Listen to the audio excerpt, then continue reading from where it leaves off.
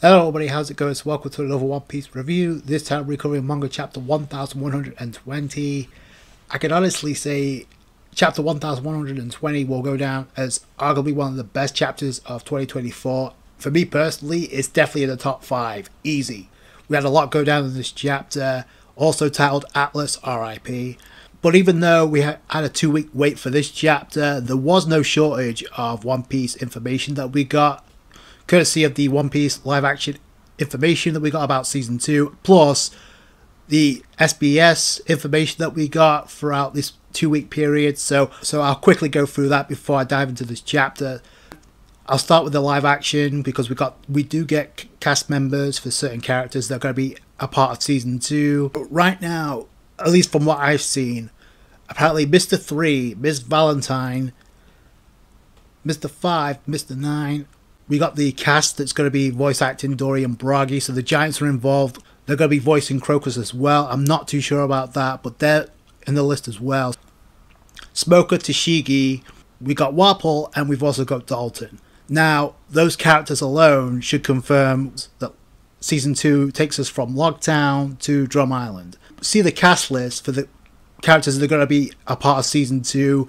Automatically, it gets you to think about uh, key characters that are noticeably absent from this cast list. Four of them in particular. So, and I have my own two cents of why I think this is being kept in the dark. First off, there was actually a kind of like a panic within the community because because the previous chapter was 13 pages, which is usually short for a One Piece chapter. So a lot of people are concerned about Oda's health. It's no secret Oda does have health issues, but he did recently say he's in good spirits, he's in good health right now, so that's good if that's the case. So, but I was kind of thinking this may have something to do with the announcement that production has begun for season two. So the timing can make the timing would make sense if Oda is like giving hints to the production staff on how to produce season two. He may not. I don't know if he's going there in person like he did for season one, but he may be giving pointers over the phone, and I could definitely see because Oda has previously mentioned, it's established that Oda gets off in introducing new characters and he loves producing silhouettes. That's a th- that's a kink that Oda has. We know this. Should, I wouldn't be surprised if Oda gave a hint to the production staff, say, "Hey, you're free to introduce this, this, and this character. You're free to reveal this cast list, but keep these characters out." Now, the trailer when we get that for season two may be a different story but that's not going to matter too much. If they're being kept away from the cast list which we know the, these four characters and by this you can kind of like predict who i'm talking about the whole point of one piece live action is to get new eyes on one piece. That's oda's aim here so if you don't think oda's going to give a hint to the production staff, hey, keep these characters out the loop because it's okay if you want to include them in the trailer, but they're not going to know who they are until the series season drops.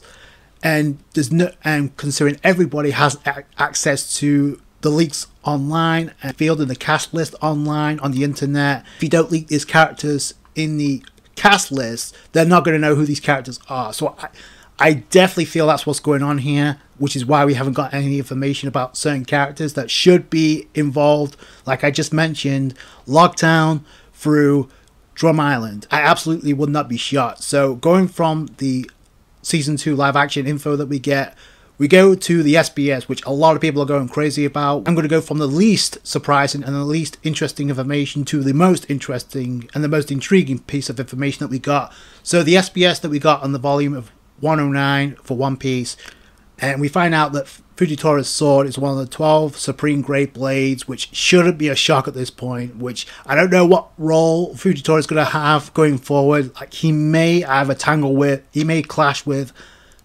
either Zoro later on, which I don't know if Zoro's going to have too much of a problem with, considering he's a lot stronger since the last time they clashed. Or he may clash, Fujitora may clash with Mihawk, which I don't know if that's going to go well for him either. Then we go from that and then we get information about Cipher Pol, in this case, Kalifa and her lineage with Alpha, who we couldn't find out. And this was not shocking by any stretch of the imagination. Like, she looked exactly like Kalifa.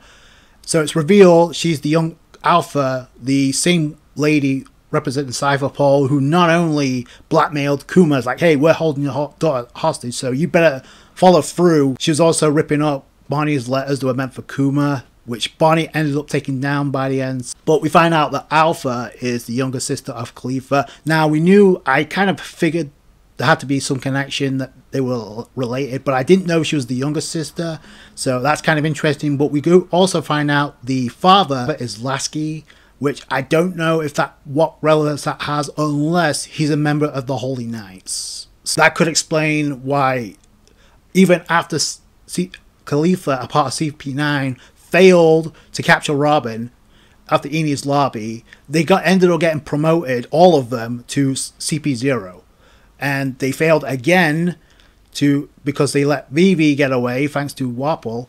So I don't know what's going to happen to them there, but that could explain why they weren't why they weren't dropped or killed because they failed to get Robin, which is crucial to the world government. Least interesting information or the least shocking information that we get to the most interesting information that we get. So also find out that four years ago, Ace defeated a warlord who Kuma ended up taking his place after he was defeated. So he goes by the name of Hanafuda, who's the king of lizards. So, but Ace was able to defeat him, and Kuma stepped in to take his place as a Shichibukai. Is Oda kind of like introducing or hinting at the possibility of getting introduced to another kingdom here, one of the ancient kingdoms that was that was sunken into the ocean? I don't know because otherwise, why reveal that? Why reveal the nickname the King of Lizards. So it doesn't really make a whole lot of sense unless Oda's alluded to something in the future. Maybe. Obviously, I'm going to talk about the last piece of information, and this is what this is what got a lot of people talking and still talking to now. The lineage of the Empress of the Kuja tribe in the Amazon Lily. So Gloriosa obviously was an empress. Following her was Shakuyaku, aka Shaki, she was also on point in telling Rayleigh that Boa Hancock may end up falling in love with Luffy, and that's what ended up happening. Then we get the predecessor of Boa Hancock, Tritoma. And I, one thing I will say when it comes to like Oda, and Oda when it comes to like the designs of the empresses of Amazon Lily, at least in their prime, is on point with every one of them. So that's kind of cool. So Tritoma, she has black hair with a mole, and obviously the same earrings that the previous empresses I'm sure were, and but obviously Boa Hancock, the Snake Empress of Amazon Lily, who again there has to be a reason why Oda is revealing this is because in my opinion Boa Hancock has a huge role to play not only in assisting Luffy but or maybe heading into the final arc maybe. So the last time we saw Boa Hancock it was after she got attacked by Blackbeard. Rayleigh stepped in to save the day. After this, Boa Hancock said she was going to leave because to avoid putting people in danger. She also says she wants to marry Luffy. So there's definitely going to be a reunion again. My idea was this like Boa Hancock could run into Cross Guild, considering two of those members eh, helped out Luffy during Marineford. Number two, we also have Mihawk, who Boa Hancock know is more than familiar with. So I wouldn't be surprised if she tagged along now, we don't know if she's traveling solo on a ship or members of the Kuja pirates tag along with her. We don't know. But I could definitely see that playing a role. And by the way, if that's the case and, the, and Margaret ends up surviving, definitely see her being the empress of the Kuja tribe in Amazon Lily by the end of the series. Easy. Just like how people seem to think Kobe will be Fleet Admiral by the end of the series. It could be, but I get the feeling that Oda knowing that he doesn't like people kind of guessing correctly what what's going to, go on, especially with the ending of the series. So he may throw a curveball here, and maybe if Kobe isn't Fleet Admiral, I won't be surprised if he's Admiral, and the position of Fleet Admiral goes to goes to Tashigi because it has to go to a member of the new gen, go to someone who's against the ideals of Akainu. So it's either Kobe becomes Fleet Admiral or, or it goes to Tashigi. Those are the only two that come to mind. I would say Smoker as well, but we saw him a couple of chaps. We saw him recently traveling, going somewhere. We don't know where he's ended up, but the fact he's not with Tashigi right now is telling. So I don't know what's going to happen with him. The lineage of the Empresses of Amazon Lily. So that was kind of cool. We got that information. Like I said, I kind of feel like and this is pointing towards Boa Hancock being hyped up for something coming very soon. Go to this chapter and we go to the cover page and immediately the kids are throwing stones at Yamato in the last cover page, they get netted up by Denjiro. So that's not so they're not going to be nuisance to anymore. So Yamato can continue on on a journey again. This is going to lead to by the end.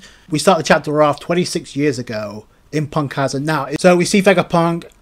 We also see a dragon and one of the numbers peering over the entrance of Punk Hazard, the same entrance that Zoro cut down, by the way.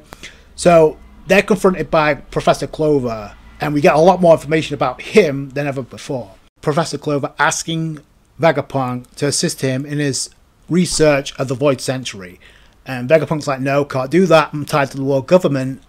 But then this is where Clover reveals number one, my brother was killed right in front of me because he had the name of D in his name. Then we get the reveal my real name is Claymore D Clover. So he's a D. So I'll get to that by the end, but because there's something else that may this may be leading to. But Lion, but Lion saved himself when he got his brother killed. So Stella is like, okay, I'll ignore what you said, but you should just give up on this research. So, so four years go by, 22 years ago, Vegapunk and Caesar get the get the news the Ohara incident happened, and obviously Clover being killed, which is kind of important because we know Vegapunk ends up going to the remnants of Ohara to pay his respects. So this kind of makes sense. You got Caesar in the background, so oh, they finally got that archaeologist. So Vegapunk go pay respects at what used to be Ohara, and we know where this is leading because this is where he has to buy poster of Nico Robin. About this, we know in this scene as well, he ends up meeting Dragon for the first time, a young dragon. We also see Vegapunk in this scene tearing up. So now it's also important to note Oda highlights the books that are underwater, and this is the second time Oda has alluded to this in this arc. It's funny because Vegapunk is like, oh, you chose death. Did you expect somebody else to follow in your footsteps? And yet here we have Vegapunk doing the exact same thing that Professor Clover tried to do. And we know Vegapunk ends up following in his footsteps. But we also know in this scene when he goes to Ohara, or what's left of it, and while he was tearing up over the passing of Clover because they were friends, Dragon was exceedingly pissed about this act by the world government. So that's something to keep in mind as well.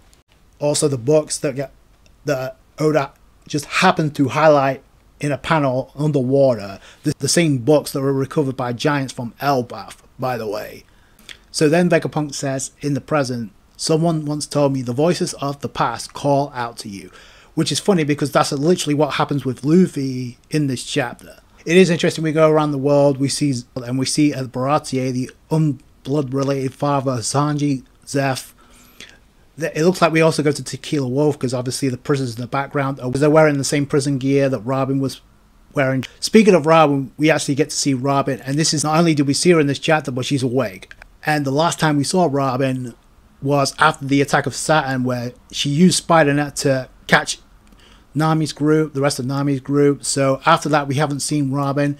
The message of Vegapunk was playing throughout the attack of Saturn, so but it's interesting what Robin picked up from this information that's clear with the Den Den Mushi clearly right next to her, and she's tearing up. So that was very telling, especially in the same scene where words of the vanquished are usually cast into a deep, dark ocean. That being said, the truth can still come to light if the oppressed carry it on their backs and endure. I'm not going to repeat the same thing. I mentioned this twice already about what Robin's role is going to be on Elbaf, but just very convenient. You have that dialogue and Robin just in the background listening in, tearing up. So there we go outside to where the Sunny and they haven't and Nami and Zoro's group are having problems because Nusjuro is still in range. So Lilith is saying Nusjuro interferes with their trajectory of landing, they won't make it. So they need to do something about this. Nusjuro is about to attack again, but then this is where Atlas comes in. It, it seems confusing at first, but you really have to pay attention here. So so Atlas comes in to attack Lilith, but the reason is is because she's she's taking out the transmission that York is following to make it seem that Lilith has been dealt with. So that's why that scene comes confusing to the Straw Hats. So Lilith is like decked by Atlas, but and then this is where Atlas is like, "I'll leave her in your hands. Take off and make sure you make it in one piece." Aha! Yeah, and this is where York totally falls for it because she's like, oh, Lilith's access has been severed, so Atlas is the only one left. So she's on the the assumption by the end of this chapter, she's the only remaining surviving Vegapunk, which is not the case at all. But we know how, how much of a hothead Lilith is anyway, so this might be actually to her benefit. So then Atlas comes charging in to Nusjuro. I love how you have Zoro, Zoro yelling, We'd regret it if we hesitated now. Do it, Brook. So he's firing up the collar for a coup de burst, and it's an epic scene. Meanwhile, while Atlas is charged at Nusjuro, she loses an arm. Atlas is forcing Nusjuro further away from the Sunny. Uh, even if it is by a little, it's allowing them to escape. So that's really epic on the part of Atlas. We go to where the Iron Giant meets up with Luffy, and then this is this is really funny because you have like the Iron Giant call out to Joy Boy. I'm happy we got to meet again. Not knowing who Joy Boy is, Luffy turns around thinking he's talking to somebody else. And this is happening while Emeth is extending his hand to Luffy, and it's like he's flat out ignoring him. That was hilarious. But then this is where Emeth says to Luffy, Your enemy is my enemy.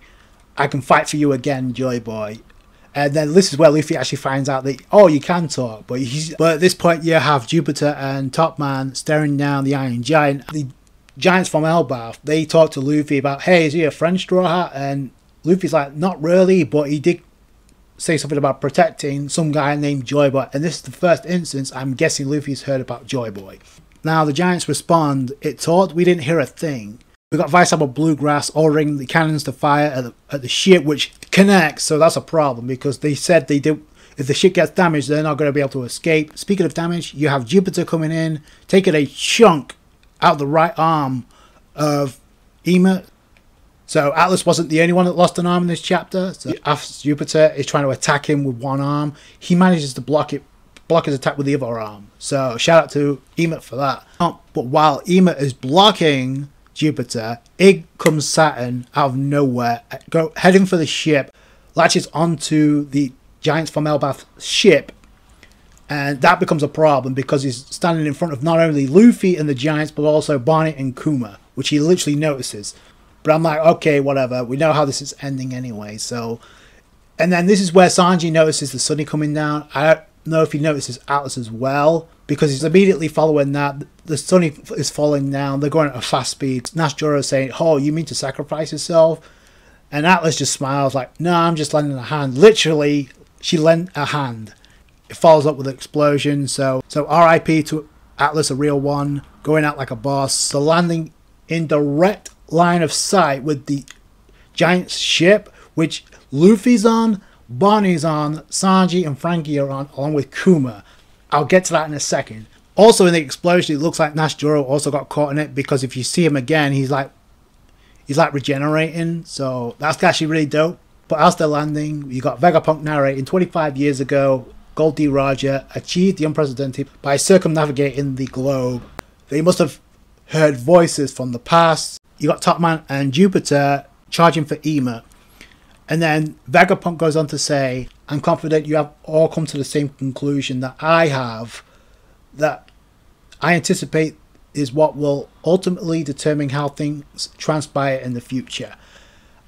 Again, I'll get to that in a second because there's a section of that that doesn't make a whole lot of sense unless you add context from the previous chapter. We see a, few prisoners and talking about, oh, Gol D. Roger. What do you say? Gol D. Roger? So that's how the chapter ends with again another cliffhanger involving Vegapunk. But like I said, you have the Emeth having two elders charging at him, Jupiter and Topman. You have Saturn latched onto the ship belonging to the Giants right now. York is under the impression that she's the only surviving Vegapunk, and after this chapter, she's not gonna be. Like, Lilith is tagging along with the Straw Hats as well as Bonney. I'll start off with that because Saturn is obviously threatening to attack Kuma and Bonney again. The thing is that you have Luffy there, you have Sanji there. So if you don't think they're going to intercept the attack or whatever Saturn is planning to do, the Sunny right now is falling right in the same position as the ship from Elbaf. We have Sanji who could literally use Skywalk to get Bonney out of there. You also have Franky that could get Kuma out of there and get to the ship.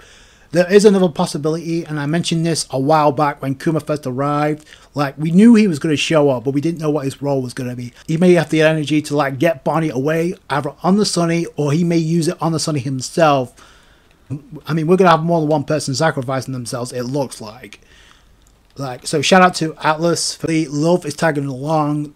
So either Kuma goes with the Straws and Bonney to Elbaf. I was thinking about what Franky could do from here on in because maybe he can inherit the will of Vegapunk to bring Kuma his humanity back. Maybe. But now you have Lilith in the picture and maybe they can both team up because that's the dream of Franky. He is, he would be teaming up with Vegapunk. It just happens to be Lilith who was full of greed, which her personality would blend in well with Nami, just saying. And it also makes sense from a narrative standpoint because Lilith was the very first Vegapunk the Straw Hats got introduced to, and so did we. So that would make the most sense why she's the only one tagging along. Do see Kaku, who Kaku literally said to Stussy, get out of here. We don't know what Stussy's going to do, who she's going to end up with. We don't know what's going to happen with the Seraphim. They may have a role to play. I've been saying that as well. Kuma may sacrifice himself as well if he uses his ability to warp the. Because at this point, is I hate to say it, he's like cyborg vegetable. Like he has he has no awareness of what's in front of it. Like he's just reacting on an impulse, but that's not enough. You also have Vegapunk, his final words to Luffy were, keep Bonney safe. Oh, that's not going to go to the wayside. So it's going to be either Kuma sacrifices himself or it's going to be Franky and Lil's duty to find a way to re- recover his humanity. I'm just throwing it out there because there has to be a role for Franky to play, and there has to be a reason why Lilith is tagging along at this point. So, like I said, you're thinking she's going to be the only surviving Vegapunk. Not going to play itself out. We may get a confrontation between her and Lilith by the end. We don't know whether not what's going to happen to those that are on Egghead Island. Like, for all we know, Imu could pull the plug and actually launch another attack. Vegapunk has a prediction for the future. Now, I did go on to say, like, the words that he says, the way the pres- prisoners are asking about this, their curiosity is obviously that we, what we want to know. The thing you have to remember is when the transmission restarted in the previous chapter, I said this. Uh, he was talking about the will of D, but, but a section of that transmission got cut off from us and the rest of the One Piece world. We didn't get to see or hear what he was about to say about the will of D and those who had the name of D in their name. So we could have get the we could have the giants sacrifice themselves. I've been saying that. Dorian Bragi at the very most. Get in the sunny away. If Kuma doesn't do it, then the Giants will. But there's going to be somebody else that throws their life on the line to get the Strats away. Atlas, I, Atlas Sacrifice is not going to sit well with Luffy, considering how he acted when Lucci punched her face in and how Luffy reacted after that. And my other point about this, we got the reveal of Professor Clover being a D. Is this Oda setting us up for another member of the Straw Hats potentially having a D in their name? Because listen, obviously it ain't Sanji. We don't know about Zoro, but outside of them, there's only one other member with a full name. I'm just throwing it out there because Oda we thought we knew everything there was to know about Law. Then Dressrosa came along and we found out Law was a D. He wants to know about the will of D as well. And he said that to Nico Robin. By the way, the second instance is last year we found out that Queen Lily of Alabasta was Nefertari D. Lily. And we also found out Vivi was Nefertari D. Vivi last year. I kind of want to know about the brother and what connection he had to Nico Olvia and Nico Robin to be some kind of relevance to that. Why he name dropped, why he kind of mentioned that his brother was a D as well. There, because any at this point, as far as the final saga and Oda is concerned, anything is possible. We know what I've talked about this enough about what Robin's role is going to be on Elbaf, along with reuniting with Saul. We know that's coming. This chapter was solid. It's, like I said, was definitely one of the best chapters of the year. But if I if I have a nitpick about this chapter, it's the whole stuff about Gol D Roger and the fact that this revelation by Vegapunk, Gol D Roger, hearing the mysteries of the world, hearing about the will of D, hearing about the Void Century.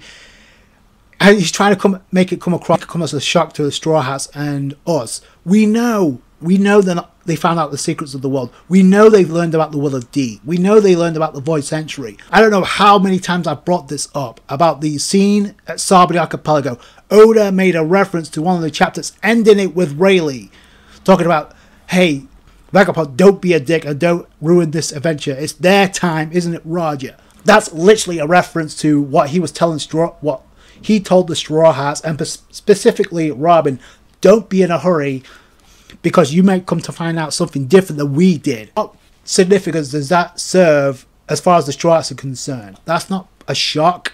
The only tidbit of information that we got is he used the voice of all things, which is not a shock because we know he had it. We know Luffy is using it.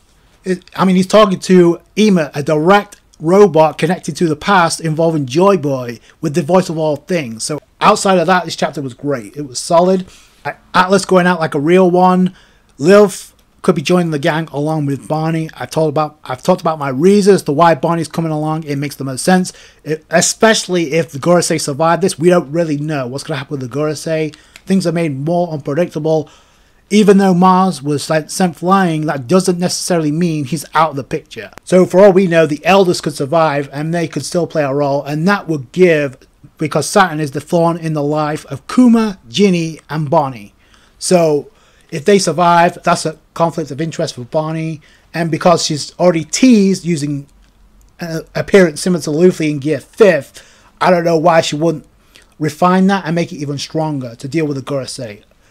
So that's where this is leading. Plus, we know there's a celestial dragon that kidnapped Ginny that wasn't named, but it was mentioned for a reason. Again, Bonney's still the appearance of a child, so maybe Kuma could do something to actually get her to the Sunny. Either that or Sanji's going to use Skywalk. Uh, this chapter was solid, definitely one of the best chapters of the entire year, for sure. For me personally, I don't know how you guys feel, but let me know in the comments below. That's going to do it. Thank you guys so much for watching. Like the review if you did a thumbs up. I appreciate that. I appreciate all you guys' support when it comes to my One Piece reviews. Catch you guys later. Thanks, guys. Bye.